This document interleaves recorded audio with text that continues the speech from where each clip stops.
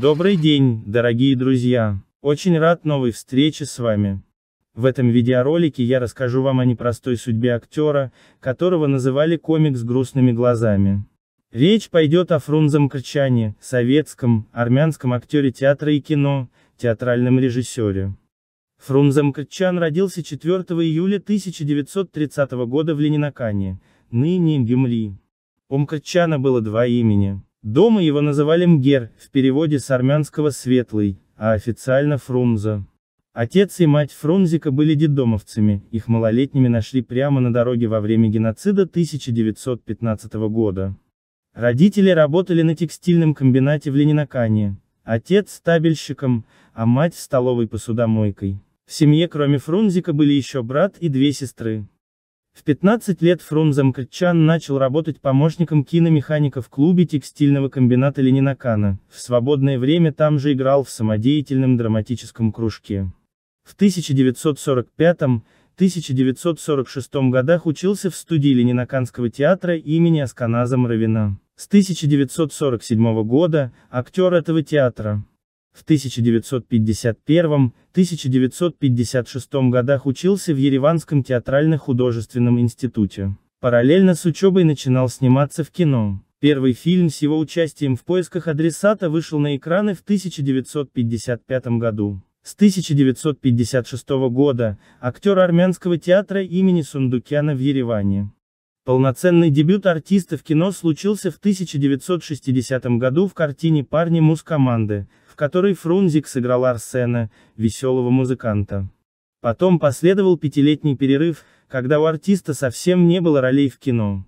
В 1965-м Фрунзе снялся в комедии Георгия Данелии «33». С ролью Мкрчан справился отлично, но наверху картину запретили как идеологически вредную. Но слава уже стояла на пороге артиста. Через год на больших экранах страны появилась легендарная кинокомедия «Кавказская пленница» Леонида Гайдая. Зрители отлично помнят Фрунзе в роли дяди главной героини. Интересно, что роль жены тогда сыграла вторая супруга артиста Донара. Тот же 1966 подарил Мкрчану еще одну замечательную роль, принесшую актеру дополнительную известность. Фрунзе сыграл одного из трех симпатичных бандитов в картине Ролана Быкова «Айболит-66». Теперь Фрунзе Мкртчан был знаменит на весь СССР и считался лучшим комедийным артистом страны.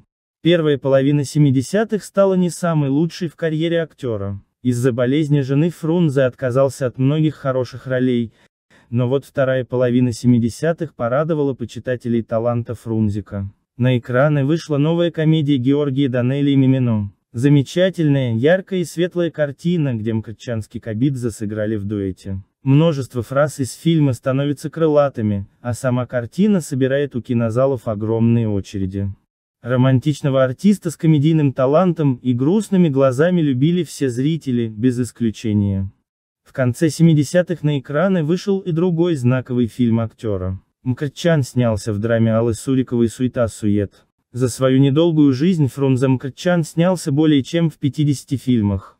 Личная жизнь Фрунзика Мкртчана была трагичной. Первой женой актера стала его однокурсница Кнара, но брак распался практически сразу. Со второй супругой Донарой Пелосян Мкртчан встретился в середине 50-х. Девушка приехала, чтобы поступить в Ленинаканский театральный вуз. Молодые артисты поженились и начали работать вместе. Первой у них появилась дочь Нуна, а вскоре родился сын Вазген. И когда казалось, что у молодой семьи все наладилось и можно счастливо жить и работать, Донара заболела. Врачи обнаружили у нее неизлечимое психическое заболевание, передавшееся по наследству.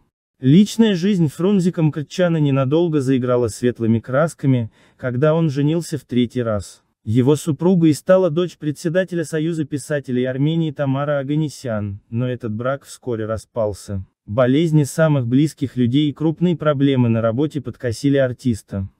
Скончался Фрунзе Мкртчан 29 декабря 1993 года в своей квартире в Ереване, ему исполнилось 63 года. На похороны пришли тысячи людей, официальной причиной смерти был назван инфаркт. Это была настоящая трагедия, многие верили, что актер мог бы сыграть еще множество звездных ролей. Всеобщий любимец зрителей Фрунзик Мкртчан, выдающийся советский актер, сыгравший в картинах, впоследствии названных советской классикой, народный артист СССР, лауреат Государственной премии СССР.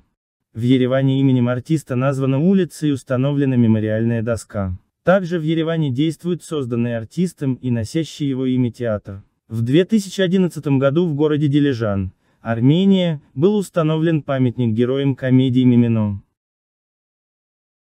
Дорогие друзья, огромное всем вам спасибо за комментарии, лайки и оценку моей работы. Надеюсь, что вам было интересно и вы узнали немного больше о комике с грустными глазами. Я желаю вам счастья, семейного благополучия и взаимопонимания. До новых встреч!